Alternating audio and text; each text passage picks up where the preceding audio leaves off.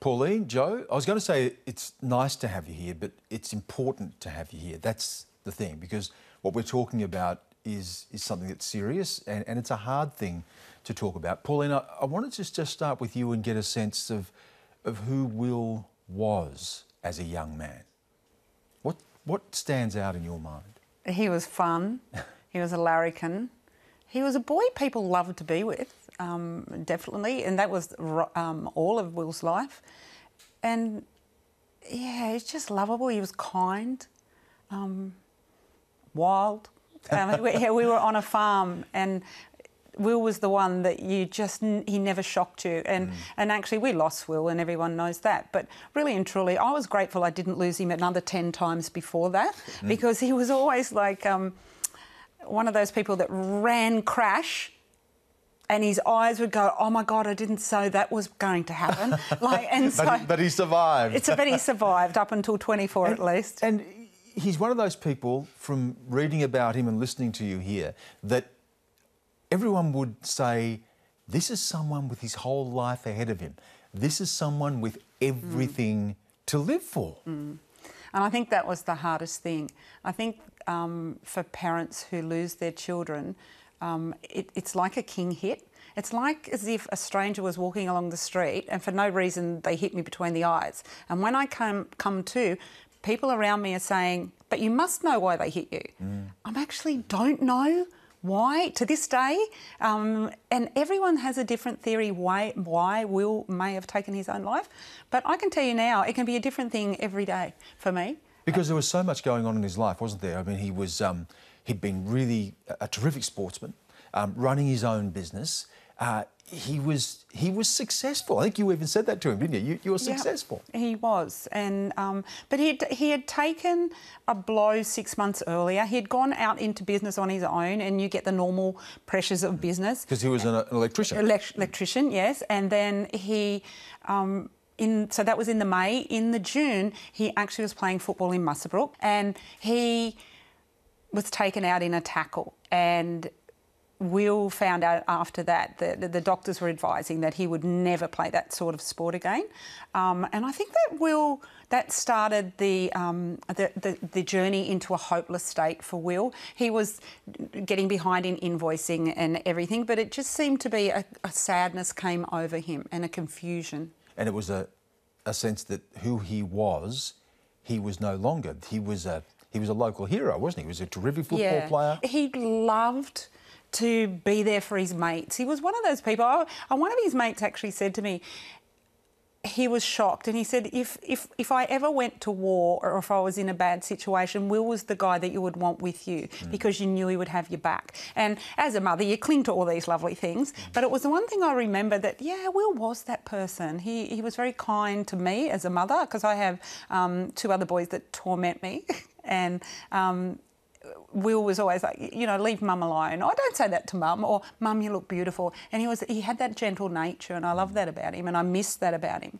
And Joe, just listening to what Pauline's saying there, it could be your story in many respects, couldn't it? Because you were the boy with everything to live for. You were the football star. You were playing with South Sydney, the world at your feet, happy go lucky. Everyone loves Joe. Yeah, it's it, it's even tough hearing that you know mm-hmm. that story because it's something that you really relate to. Um, that was that was that was me. Mm-hmm. You know, mm-hmm. it was it was everything that I was as a person and and everything that I hid from everyone. You know, I didn't like to talk about anything that I was going through emotionally, and I think that's a society thing as well. But you know, for me, it was I, I'm, I'm I'm extremely lucky to be to be sitting here today, and and for me, it's you know, I'm, I'm grateful that, that I get to wake up every day and, and to make impact on communities around this space because, you know, there are so many people out there who are, who are in silence that are suffering that, that, that feel, but you know. How do you explain this? Because you were at the top of the tree. You were playing professional football. Um, to all intents and purposes, you're, you're a successful person. But you said something a minute ago there. You were all of that, but you were hiding. What were you hiding? You know, for me, it was I was the best joker player out there. You know, I uh, uh, I could put the face on the front for everyone. Uh, but the minute I walked and looked at myself dead in the mirror, I hated that person. I hated everything Why? it was because I and and and for me it was it was an inner dialogue that that I've had for a very very long time, long before I was a I was a rugby league player and long before I was a boxer.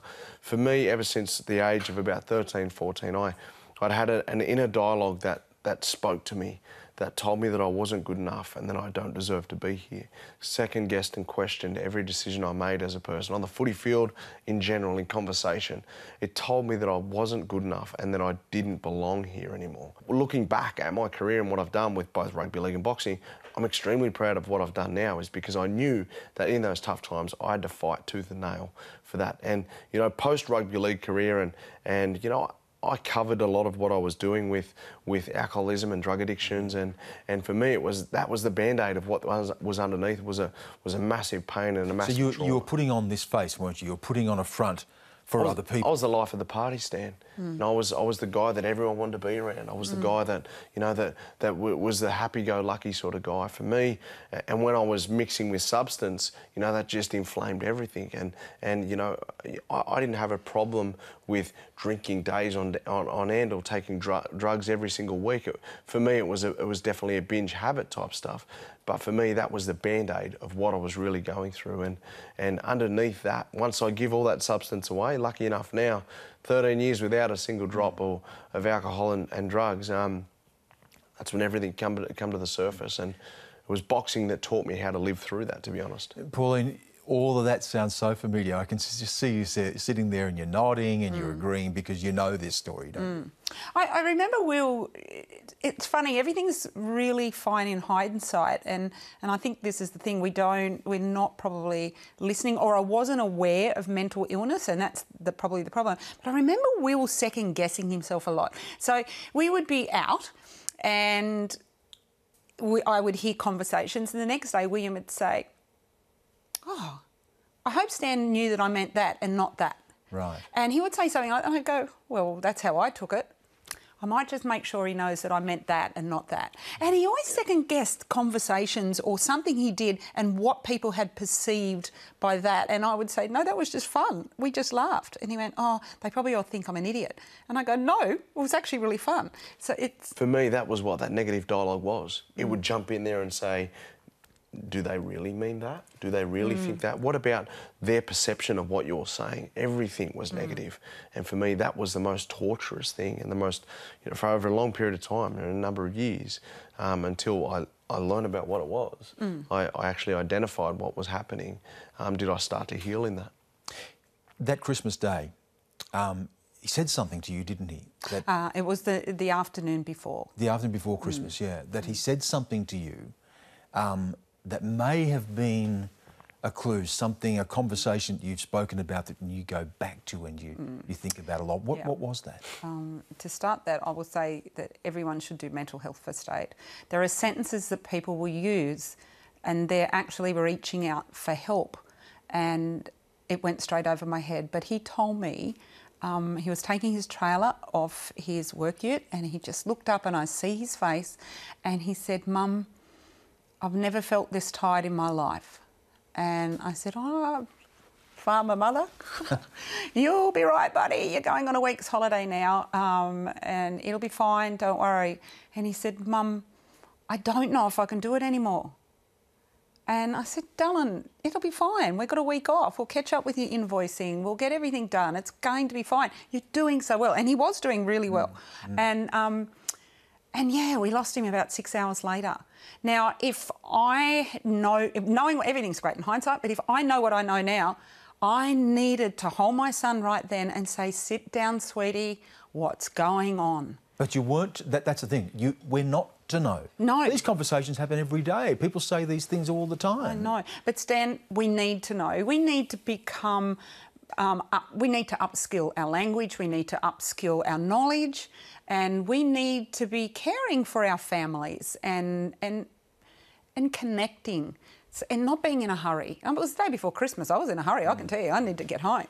I love that you said that because um, when I'm out delivering in schools and in communities, the very first slide I talk about with my story and how I've got well is connection. And, and, it's, and people could say, yeah, well, that, as an Aboriginal man, that, that's connection to culture and it's connection to the country and the land. But for me, it's connection to people, mm. you know, connection to ourself and connection to. I'm extremely lucky that the people around me notice when I'm not well before I do because we just put on the front. We think we're putting on the front. Mm. But if we're How many times did you said something like that? I'm and so tired. If we put on, if we put on uh, the, the face enough, our behaviours start to show mm. in what we say and what we do. In just being that little bit late or delayed, or even staring off into the distance doing something. So, asking someone if they're okay is more than that. It's more than that conversation. It's paying attention and connecting to people mm. that we have to we have to be so mindful mm. of everything that comes out of people's mouths. Not just we live in a society now where we only care about what comes out of our mouths. Mm. We ask a question with a loaded response. No, so we've got to connect to people, connect to each other, and have our loved ones connect to us. yeah, we, we say, Are you okay? But we might not be ready for what people say in response. We may not be ready for the And answer. I, and I do love that the work we're doing in the Upper Hunter um, with Professor Lea Waters, who is um, in training our teachers, well, all staff from schools, from the 21 schools over two years.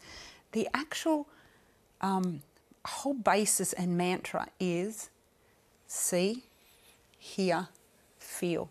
Real connection. So stop racing and racing out. Stop, take a breath, feel. What, why did Stan just do that? Is he trying to tell me something? Start watching someone else's body language. Start to feel the mood of a room. Um, It's and- not this feel. No. It's not touching feel. No. It's feel the emotion and the energy that this yeah. person's putting. So this is the basis of um, the training for the school teachers over the two years with Professor Lea Waters, and and I love that. It, and, and she talks so much about connection and. I love Lea Waters, um, probably like yourself. Lea has been, I call it a continuum. So, zero is where we're pretty neutral. Um, above zero is um, thriving and doing well in life. Anything below zero it's where we seem to get all our treatment. Um, Lea has been on both sides of the continuum. Can, can I just take a step back? Because, you know, you're talking about what you're doing here now, and this has grown out of Where There's a Will, which is the program that you've been involved in since your son's death. Um, what, what led to this point? This, this point you're talking about now with the people that you're working with in the schools. Explain that process for us. Okay, so Willard passed away and I couldn't deal with it. I mean, I was a good mum. That doesn't happen to me, that doesn't happen to my family. Um, we had gone through a process of um, everything, you know, from the Grim Reaper when they rolled that bowling ball down and me sitting on my children down and giving them condoms and them going, Mum, you know, and I was that mother who went, oh, okay, if they're at danger. So I, I, I wasn't dealing with it. And so I started to Google and look for different things. And the first thing I found, which shocked me, and this all, I think this all happened in one week, and it was like a moment. Um, the World Health Organization predicts that if nothing is done, depression and anxiety will be the leading health burden to mankind globally by 2030. Now, when I started to first say that, that was 14 years. We are now down to 12. So the clock's ticking away. The other thing, within a week, I remember the last time I spoke to Will, that when, when I was talking, he was taking his trailer off. He had on a sun hat and sunscreen and zinc cream. And the zinc cream was messy and he So he's, rubbed he's it in. taking care of himself. He's thinking about his health, even though he's he's dealing with this anxiety, this depression, and potentially, and, and as you later found out tragically, thinking of, of suicide. Yeah, and I have to tell you, then I started to go for an instant, oh my God, he didn't kill himself. There's foul play here. So I goes to see the psychologist and I said, and he went, No, Pauline, you we as we taught him that. And so he just knew to do that thing. And then I said to the psychologist, can we teach mental health? Could I have done something? Could I have given him the tools? And he said, yes. And that was a moment for me. Why aren't we? And secondly, I have six grandchildren that when 2030 hits, if this, and I, and actually I think we're starting to see the very edge of it, um, particularly in ru- um, rural, um, we're losing lots of good people. And it seems to be happening on a much and it's regular getting basis. younger. Yeah. I, we, I see the onset of these, of what we so, call mental health, mental Mm. illness, is, is now in the teens, Joe, when it used to be in, in the mid 20s. Mm. It's dangerous, and I think, um, without doubt, I think social media has played a part in that with um, expectations and um, you know the bullying side of things that everything comes out with with social media. Every kid now's got Facebook and Instagram, and Well, status matters. You've Yeah. got friends, you're putting on a show, you're performing every minute of the day, and that can so easily be shattered. that takes away our identity of who we are because we're always trying to be somebody else. We're always trying to be something better, something bigger, um, and that's not connecting to the person of who we are. Again, you know, um, and, and and for us in in, in our communities, in, in the Aboriginal communities. I changed it, the language around mental health and mental illness because I believe for our people it's it's a genuine disconnect from our spiritual health. You know, us as Aboriginal people for you know sixty five thousand years at a minimum have been happy, healthy, and well. Um, so for so for us, it's about we're, we're struggling to walk between the two worlds of modern society now and uh, traditional Aboriginal people. Yeah, and, and I want to come to that, that idea of creating communities, and I think that's what you're looking at where, where you are. But Joe, I was just thinking, listening to Pauline a minute ago, imagine if you knew what you know now before. Imagine if you'd been taught from a young age, as we're taught to slip, slop, slap, to take care of yourself when you go out in the sun, to take care of your mental health, to take care, to be aware of these things. Imagine the difference it would have made. You know, we're heading to a space now where, where it's it's an everyday conversation, isn't it? Because we're losing so many different people. Um, you know, now we speak about mental health just the same as we speak about physical health, which is, I think, is a, a huge importance to. I've got young kids as well, and I've got kids who are teenagers, so they're now being put on uh, every single day. You know, faced with these challenges of growing up in a modern world. Um, the fact that it was such a stigma around with with talking about our mental health um, has have, has without doubt been a burden to a lot of people. But we're now in a position where we can to our kids. If we, it'd be fantastic if we could go back, and I knew about those things then. But it's unfortunate that we can't change the past. Mm. We can now build on a future with mm. better education. And Joe, you, you and I have talked about this, and you know I should point out that we're not just Aboriginal people, but we're also related. We're, we're cousins, Joe and I, and we've spoken about this. And I remember something that stuck in my mind that when you contemplated taking your own life, when you were going to kill yourself, it wasn't necessarily that you wanted to die. Explain that distinction for us because it's really critical. Often people say, why did they kill themselves? They, they did have everything to live for, but that wasn't what you were thinking, was it? Yeah, and, and let's not let's not forget or mistake the fact that that I did I did try. It wasn't that hmm. I contemplated doing Yeah. it. I actually did everything within the power of my two hands to not be here anymore. Mm. Something bigger than me, and, and, and my fate was to not was to not, not be, um, you know, in, in, the, the result that I wanted at the time. But thankfully, It wasn't that you wanted to die. it wasn't was that I wanted to die in those those moments. Mm. It was that I, I couldn't see an end in sight. Mm. And I thought that if I've battled with this for so long, over such a period of time, exactly what your son said, I don't think I can do it anymore. Hmm. You know, for me, it wasn't about wanting to die. I had I had kids. I, I I'd lived a you know a great life as a professional athlete. It wasn't that I wanted to die. I just wanted the pain to go away. Hmm. And I felt and I thought with everything in me in that moment that the only way to end the pain was to end my life. Hmm. Because I could not see an end in sight. You know, and that's why it's so important in the work that we do now is to just talk to people. The tattoo I've got in my on my wrist is the most important tattoo on my body. T2SP. T2SP. Mm. This too shall pass. Mm. Mm. Every tough situation that I've had, I've confronted. It's come to me, but it's I've gotten past it. So every tough situation that I have, still to this day, I'm not better now. we were It just passes. we were just talking before we came on, and we were discussing some of these things and the work that you've done with where there's a will, and and making people aware that it is so easy to imagine the worst, Pauline, isn't it? Mm. This catastrophizing is the phrase that Yes. psychologists use. That Yes. you look at a situation and you immediately go to the worst potential outcome, mm. and you see this all the time, don't you? Even in the, work. I think I do it all the time. I think it's, it's We called, all- we all it- do. It's actually negative bias, and mm. negative bias. And I often say to people when I'm speaking now, and I'll, I'll tell you about negative bias. You're walking in long grass, and something moves, straight Oh, away. must be a snake. You go snake. I said, and when you look, it's a kitten. I said, so, but that's normal. That's from the time you get out of bed. And they've found out that it starts in the cradle. So children actually start to take on a negative bias. And, and you're working with this now because there are kids. Lea Waters is. yeah, Lea Waters is. But but you know, through through the work that you're doing and, and Yes. the people that, that you've now connected to this program, even kids at a young age, someone in you know five or six years old may say to the teacher, "Everybody hates me." Yes. And how do they unpack that? Um, like an onion. Um, I know that the just around that subject of, um, of of your negative bias, you know, um, everyone hates me. Um, everyone. Well, the three over there said, and it'll be like the whole three said it. No, well, Mary said she doesn't like my shoes, and you can actually say, well.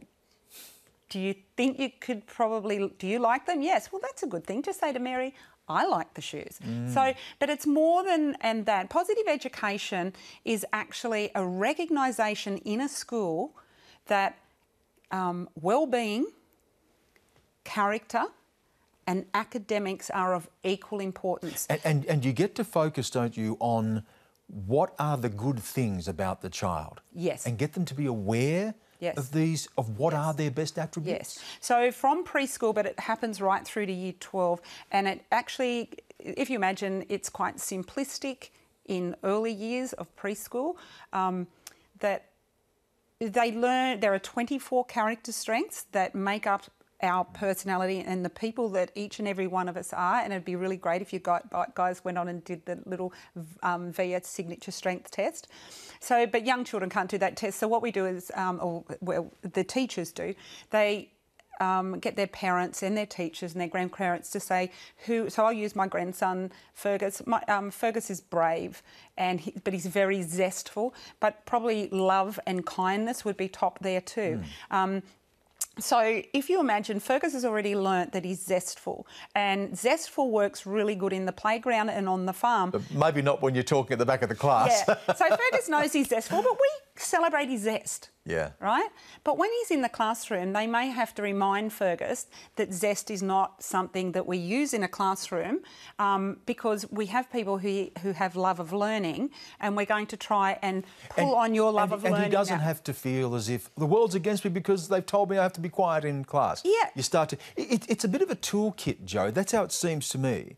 What do we need in the toolkit to, to be aware of these problems, to be able to identify them, and to be able to be, you know, the old saying, forewarned is forearmed. What do we need in the toolkit? You know, the, the best thing about that toolkit is it's strength based. You know, we, we concentrate too much on negatives. Well, we've got to improve our weaknesses. Well, if you're improving your weaknesses, you're also concentrating on your weaknesses. You Exactly. know, let's work on our strengths. Mm. You know, even me as a sports person, yeah, I had plenty of weaknesses. But you know what? If I build on my strengths, then I'm going to pull my weaknesses with them as well. Um, I, everything that I speak about uh, in, in communities, again, is around strengths based stuff. So the five values that I develop uh, around my workshops that I run in, in schools and the wellness plan that I've lived with. So for me as a young person, one, I didn't talk about it to anyone. Two, we couldn't afford psychologists, psychiatrists, and if we think there's a stigma about mental health now, think about what it was like 20 years ago, you know. So everything I've developed uh, key values that I believe a lot of the, the dreaming stories of Aboriginal people are based around learning to live with love for yourself and one another, respect, care, humility, compassion. You know, when you start to live with those five values, and everything that I speak about in schools, in workplaces, sports teams, is around those five values. Because if you can le- learn to build on those five values, you're going to not only improve yourself, but what you're doing is concentrating on other people with those mm. values, having compassion for people, mm. being humble. Mm. You, you mentioned something before about spirituality. You and I were lucky to grow up in a strong Aboriginal family with strong role models, um, language being spoken, real cultural awareness. That sense of spirituality, not just community, but spirituality and connectedness to that identity. How important is that, and how do you try to revive that where it is now missing? for us as, as First Nation Aboriginal people and Torres Strait Islander people for this country, the first people of this country, we loved, lived and thrived on a very barren country for you know, tens of thousands of years, and we did it in harmony with with, with people, with each other, and you know, it, it's extremely important that we that we get back to that because what they were doing was working back then. You know, in, in over 500 different languages and countless dialects of those languages, there's no meaning for suicide in all of those languages. Now, if there's no meaning for suicide, that tell, tells you it wasn't around, right? Firstly. So if what they were doing back then was working, what we're doing now isn't. And have you found that by adopting this in your own life, it's made a difference? I mean, the T-shirt that you have the enemy within, you have the the the, the emblem here of an Aboriginal design. You're connecting these two things. Has that made a difference for you? That reconnection or connection to culture? Without doubt. For me, once I went back to country and once I went and sat and to learn about the old ways, and I sat out with men at ceremony and, and talked about those old ways and learnt to live those old ways. An elder said to me, he sat down the bush, he said, Son, if you connect to this stuff, all your mental health problems will go mm. away. Mm. And another man out there said to me, You're not mentally ill, you're spiritually ill. Mm. You fix your spirit, you'll get better. Mm. A- And Pauline, I suppose what we're talking about there too is this sense of community. If you look at the Aboriginal community, which is probably a microcosm of this, and the issues that exist in the broader population are exacerbated in the Aboriginal population, the rates of suicide are much higher. The, the rates of, of, of mental illness, depression, anxiety, these things are, are much, much higher. I think that's because of our disconnection. Disconnection. Those old But the same thing exists, doesn't it, in particularly in, in, in rural towns where you have a, a hollowing out of community, people moving away, some of the best and brightest being lured to the cities. They would have been the potential leaders of those communities. They're no longer there. How much of a sense of community and the hollowing out of community, the individual focus uh, on society, has contributed, do you think, to the problems that we're seeing? Um, I think it does. Our man, um, one of the things we talk about, it takes a village Mm. to raise a child. Well, the neighbour doesn't even know who the child that lives in this house now. So, um, a lot of the work we do with Where There's a Will goes back, and, and why I believe the Slip Slop Slap program worked. Um, and I would love the government to have a national awareness campaign for parents to, um, number one, warn them that it can happen in their family, but number two, um, create an ownership of mental health. At the moment, we're targeting schools and targeting the 25% of people who are ill. This is a national problem of disconnect that we've talking about. It takes a village to raise the hmm. child. Slip, slop, slap. Mum could put a child's hat on and she could put on the sunscreen. She had to le- they had to leave the house. So she relied on now the school teacher to have the same idea and to say, Will, put your hat on or sit in the shade. He goes to sport. The coach would say, okay, we'll put our sunscreen on, um, wear our hats, long screen. There was a consistent messaging the whole day. But that consistent messaging became because there was a consistent language, a literature we all understood. And that is what's lacking. Um, it, it's sort of like that. Um, I love Joe's work because I it's strengths based, strengths based, um, gratitude, um, growth mindset. and you're all in this together. So the child is not alone. There's a community, there's Yes. a school, there's a teacher, there's a neighbour, there's Yes. a parent. And, that, And- that that's critical, isn't it, to what, what you're saying? Uh, there's so much we could talk about. And, um, you know, one of the things that I really wanted to, to ask about is the language that we use around this as well. Um, you know, we talk about a suicide crisis or a mental health crisis. Uh, we, even the language we use, sometimes um, we set aside a day or we set aside a month, sometimes gets in the way of actually dealing with this. oh, it definitely does. If I say crisis, it's almost like something we can fix and then it's done. Yeah. And Joe hit the nail on the head, focusing on the negative. Why do I, and the government's doing it particularly well at the moment suicide crisis plan, suicide coordinator, suicide um, community plan. Have a guess what? A quarter of the nation is sick. So, what is the real message here that everyone's trying to send us? It's okay to be sick, just don't kill yourself. You're making us look bad. That's how I see it. Because how would you like to be someone who's just unwell, Joe? That's not an easy journey either, is it? And that that really so are we forgetting the other quarter of the people who don't actually take their own life? Do they need to take their life to get the attention they need? And sometimes when you're in that journey of no counsellors, no psychologists, uh, we have some, but really limited, nowhere near what we need. What message is it sending them? So it should be a community well being plan. Why do we do well in our community? Why do we do that well? How can we take some of that and put it into um, to well-being and drag them with us? I, I, love you. I mean, we're going to get on well. I can see this. We have many we conversations. Look at, we look at um, uh, post post prevention suicide programs, and and they have their merit. I get that, but there's a lot of there's a lot of people who are rolling out these post prevention programs that can't intervene until the suicide happens. Mm-hmm. We should be stopping the suicide before it happens, rather you, than you don't even you don't you know you don't use the word suicide. Often you, you don't like to use words mental health uh, even. Do I, you, I, know, you, I talk about wellness. I talk wellness. about wellness. And I think you know you mentioned to me once even when we talk about committing suicide, commitment is is associated with with a positive term. When, mm. we're, when we're committing to something, we're committing to something that's positive. You prefer death by, by suicide. People die by depression. Mm. The means of how they die is, is suicide. Mm. But they die from depression. E- even depression, Pauline, you, you've talked about a hopelessness. Hopelessness. Depression almost feels like a, a lull. We've become very used to the word. Hopelessness mm. hits with a much greater force, doesn't it? Yes. Well, Dr. that's Dr. Martin Seligman's work, and his work is brilliant. Um, and I, mean, I, I actually had the privilege of meeting Dr. Martin Seligman last year, and there's his work on um, positive education and strengths based is actually scientific.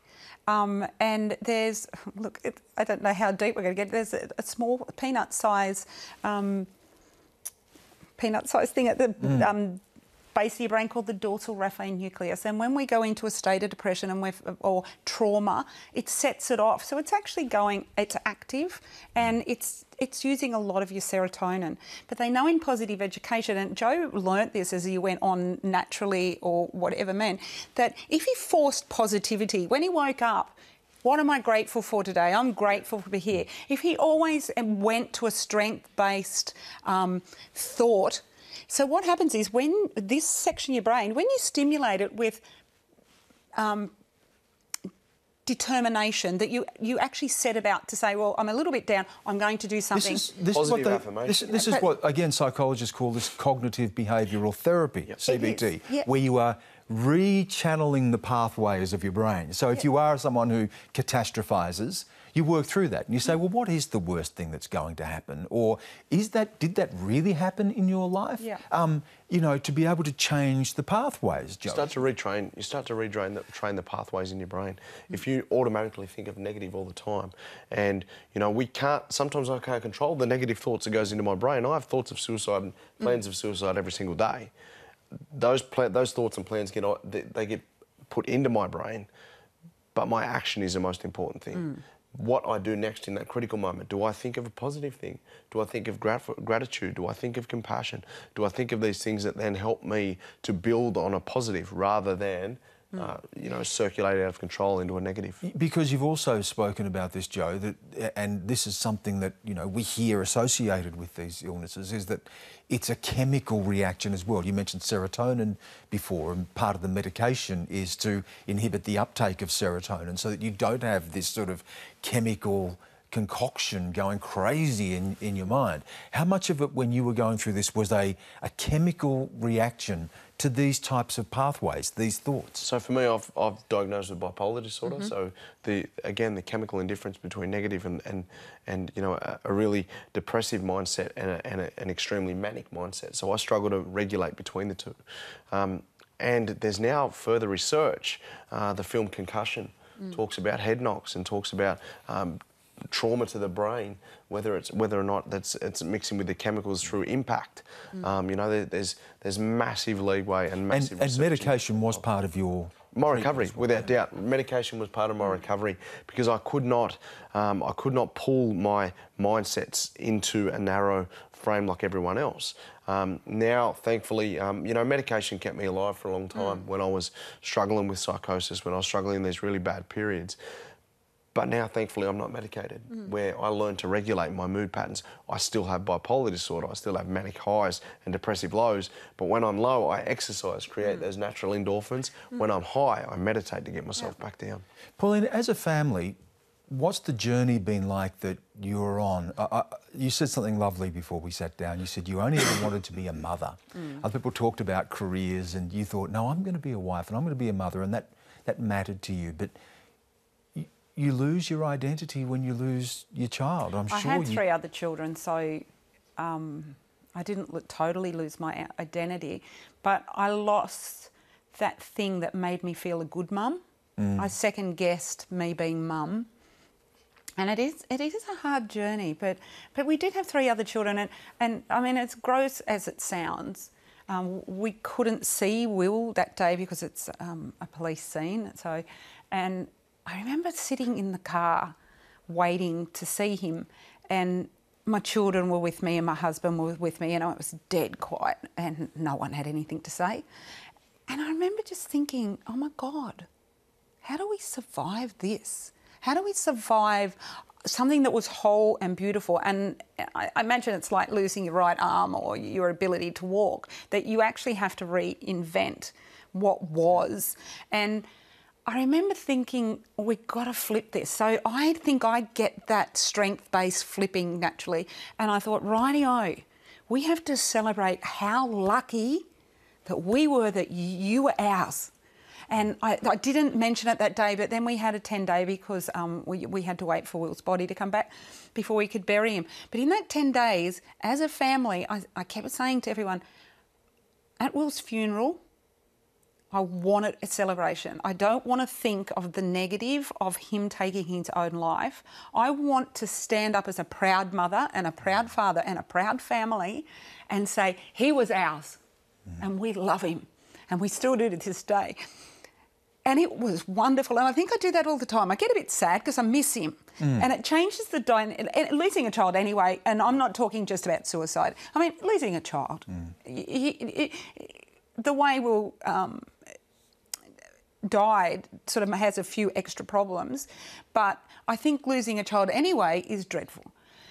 But it, your family unit changes. That that dynamics that he brought to the family is missing. So we change, and but but that I suppose. And when we hear about suicide, we know that there are other families going through just what your family has gone through, trying to rebuild a family and a life. yes, You know, exactly. speaking to that point, Stan, um, it was on my it was on my uh, my book launch for my book, and my, my mother actually sat down with my manager in tears, and she said, "Where did I go wrong?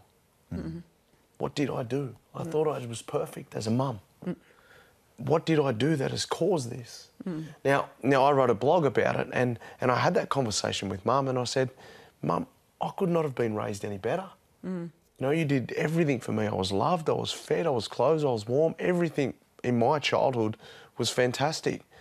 I have a chemical imbalance in my hmm. brain. And this is a question that that causes people these. are asking themselves. Joe, just to finish on, where are you at now? This is a, you know, again, we see these things as if, you know, Joe's been through this, he's come out the other side, but it's an ongoing struggle. It's an ongoing struggle, mate. And and what there's what we know more and more about the research of mental illness, like addictions, is that it's deeply embedded within our genes. You know, for me, I was born with bipolar disorder. I didn't develop it. I was born as an addict. I just needed to put the fuel on the fire for it to come out. Hmm. You know, for me, where I am now, I still go through these things and I still put into place the values that keep me well. But how I do that, uh, and it was when it was back to the point of, of you starting speaking. The very first time I spoke about my story, I noticed that people connected with it. And when they connected with it, they said, Joe, I feel like this too. Hmm. And when you're telling me that you can be okay and you there's an end in hmm. sight, then I get hope from that. And you know what? The one thing is that we know that hope helps heal people. Mm. And I just started talking about that. And, and the more I talk about people, and you know, I've, I've spoken to countless people, Stan, whether it's in person, whether it's online, uh, indirectly, directly, it's helping people that keeps me well. Mm. And for a long time, I didn't know that that's what I was doing.